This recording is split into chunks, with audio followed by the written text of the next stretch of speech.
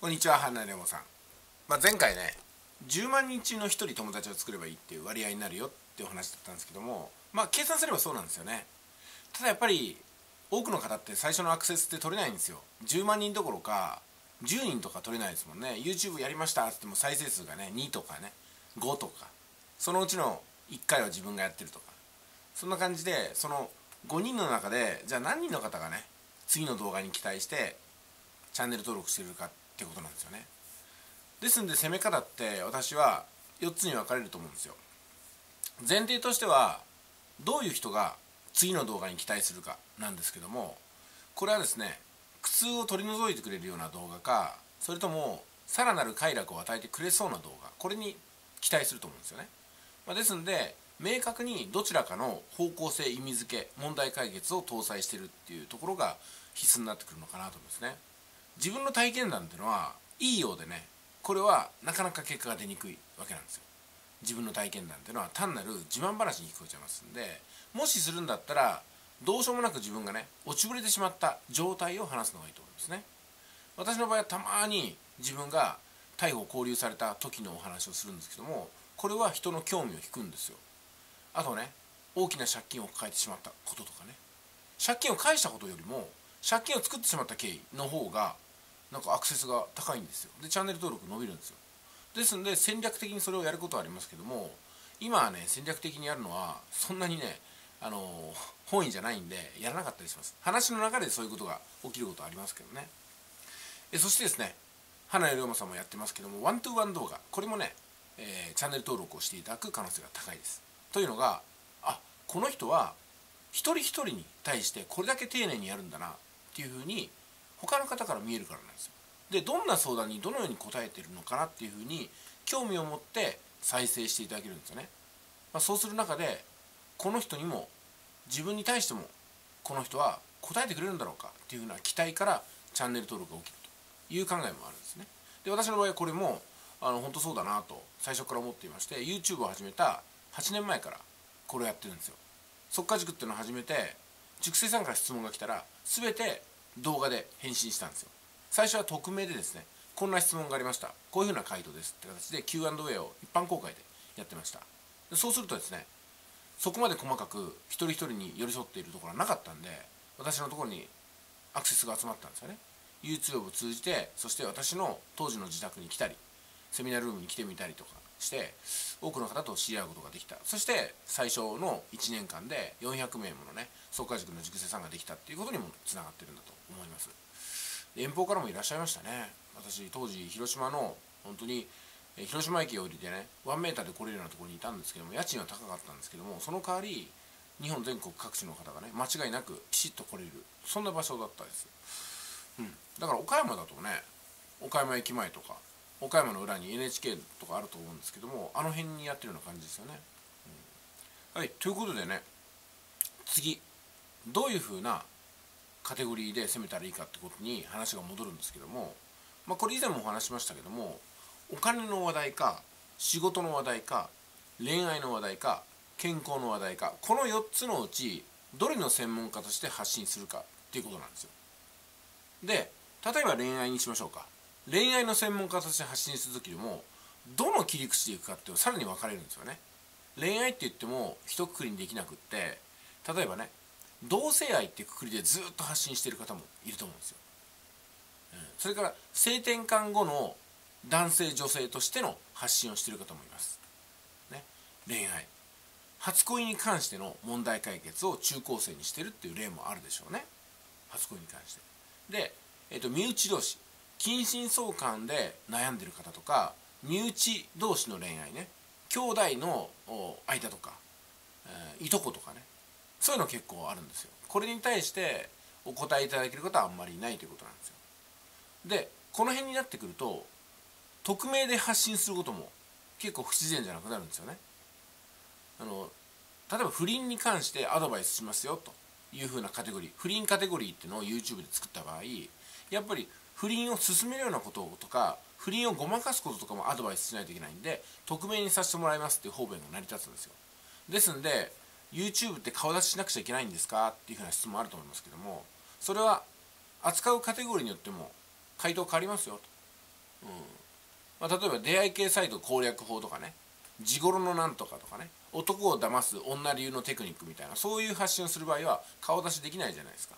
だから堂々と顔出ししなくてもいいカテゴリーもあるんでそれ何か思いつきます？みたいな感じでお答えすることができます。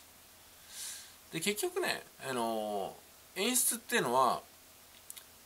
やることによってはものすごくダメージになりますけどもやることにとってはものすごくね、えー、成長を助長することになりますのでどの組み合わせをどういうふうにするかっていうことが、まあ、コンサルになってくるんですけどね。これ何かっていうと頭がいい3つの段階ってあります。まずは情報がたくさんあること。これが最初の段階です。次はどういう組み合わせをするかっていうコラージュ力ですよね、うん、単体でも力がないものでも組み合わせることによって大きな力が出るってことがあるんですよ。その組み合わせをどれだけ試行錯誤しているかってところが一等中の存在になるかそれとも平凡な頭が人で終わるかの差になるわけですよね。3段階目のパート3一番賢い人っていうのはこれまで人類にない概念を構築する人なんでこれはね100年に一度ぐらいしか出ないと思います。それこそニュートンが引力ってものを言い出したとかね。引力ってグラビテーションみたいな言葉がないのにそんな概念を作り出したみたいな。そんなとこだと思いますよね。そういえばね異次元とか空間とか5次元とか20次元って考えた人って誰なんでしょうね。霊魂とかね。すごいですね。宇宙人とか UFO って言い出した人も天才だと思います。だからあれが天才の極致ですよ。UFO や宇宙人って誰が言い出したのかわからないけども今世界中の人がそういう概念を持ってると思うんですよ。天才だなと思いますよね。世界中に広めたファンタジーで、うん、もしかしたら本当かもしれないですけどね。ドラゴンボール以上にワンピース以上に世界中に浸透してるのは宇宙人 UFO じゃないですかね。ちょっと話ずれましたけどね。だから4つのカテゴリーで話すのが大事なんですよ。お金の問題の解決者になるんですかと。お金の問題の解決者といってもお金がない人向けなのかお金がある人向けなのかによっても全く変わりますよね。で次、えー、仕事。仕事に対する悩み相談もさまざまな種類があります。新入社員に対して鍛えてあげるよとか教えてあげるよってものか入社前に何をすればいいのかなのか入社3年目の人に向けてのメッセージなのかあ代表取締役に対してのメッセージなのか全然立場によって違うアドバイスをしないといけないんですよ。ですので仕事っていうくくりでもねさまざまな専門分野に分かれていくんですもちろん恋愛もそうですし健康もそうですよね。健康って言ってもね筋トレをずっとする人もいれば食事のことすごく詳しい人もいれば添加物を追求する人もいればファストフードに行く人もいるんですよ。あちなみにですねちなみにですよ。コンビニ弁当とあとパン山崎のパンっていうのがあるじゃないですか。あれがね今日の動画のちょっとくくりになりますけどもこれもネタになると思いますけどね。あの山崎のパンとかそのコンビニ弁当が体に悪いよと。発がん性物質が入ってますよみたいなテーマがたまに私が放送してるものだから来たりするんですよ。で私はそこをねちゃんと調べました。ですごく分かりやすいんですよ。というのがコンビニ弁当をベランダに出して30日放置してもカビが生えませんみたいな。だからコンビニ弁当はカビすら生えないようなやばい物質が入ってるんです。っていうふうにね解説されてる方がいてよく知らない方はやばいなコンビニ弁当。あんなものを何が入ってるか分かんないもの体に取り組んでいくのかと思うんですけども違うんですよ。パンも同じです。山崎のパンをちょっとね水に浸して外置いときました。何日経ってもカビすら生えませんみたいなね。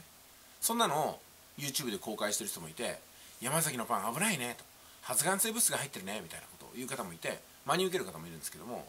よく科学的な見地で調べていく。特に中学生でやった理科の分野でね調べていくとこれ分かるんですけどもまあそこまでしなくてもね私コンビニの弁当工場行ったりとか山崎の工場とかね山崎じゃないですけどパン屋の工場さんとかこう見学させていただいたことがあってでなんでね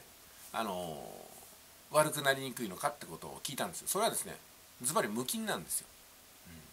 コンビニ弁当を作るとこではドモホロンリンクルのね工場よろしく手袋してマスクして目しか出てない。しかもそこ透明のフィルターがあるんですよ。でそういうふうな完全無菌状態で ICU みたいなもんですよね。手術室みたいな。そんなところで作ってるんでそもそも弁当を作ってるところとかパンを作ってるところに菌がないんですよ。埃もないんですよ。すごく清潔なところでパッケージして